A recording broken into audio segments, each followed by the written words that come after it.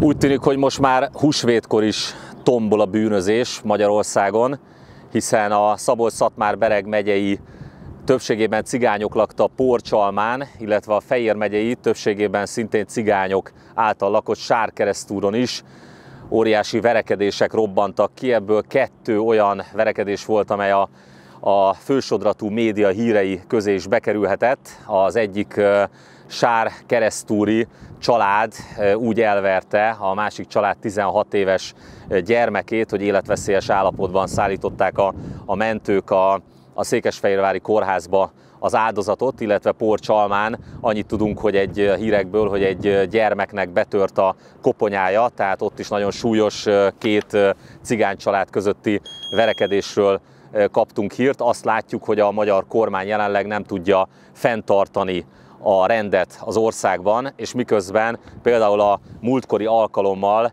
amikor nem voltunk elég gyorsak ahhoz, hogy sajtótájékoztatót tartsunk itt a Kossuth téren, akkor a rendőrök a, valószínűleg az országgyűlés elnökének az utasítására engem vegzáltak itt a Kossuth téren, ami egészen elképesztő volt. Egyszer elküldtek a villamosin túloldalára, hogy itt nem tarthatok sajtótájékoztatót, pedig ez egy közterület. Aztán a villamosin túloldalán sem tarthattam sajtótájékoztatót, akkor odajött hozzám megint egy körülbelül fél tucatnyi rendőr, és eltereltek egészen egy szomszédos utcába. Én elhiszem, hogy az önöknek kellemetlen utasítás. Nekem nem kellemetlen, szerintem ez önöknek ciki most már.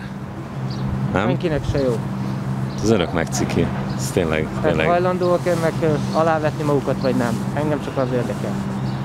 Hát nézd, én jogkövető magatartást szoktam Azt tanúsítani. nagyon szépen megköszönöm. Tehát úgy látszik, hogy arra van rendőr, hogy vegzálják a, a politikusokat, az ellenzéki, az igazságot kimondó e, politikusokat, de ahhoz nincs elég rendőr és kellő erő ebben az országban és politikai akarat, hogy rendet tegyenek vidéken, hogy fenntartsák a nyugalmat vidéken, sőt a legtöbb budapesti kerületben is azt tapasztaljuk, hogy a bűnözők szabadon tombolhatnak. A Mi Hazánk mozgalom ezért azt követeli a kormánytól, hogy tegyen rendet az országban, számolja fel azokat a szegregátumokat, ahol gyakorlatilag nógózónák alakultak ki, és vigye vissza a törvényes rendet a gettókba, akár Serkeresztúra, akár Polcsalmára, mindenhova, akár Budapest bármelyik kerületébe, és ne itt vegzálják közterületen azokat, akik az igazságot kimondják. A Mi Hazánk mozgalom amennyiben a választópolgárok minket arra felhatalmaznak,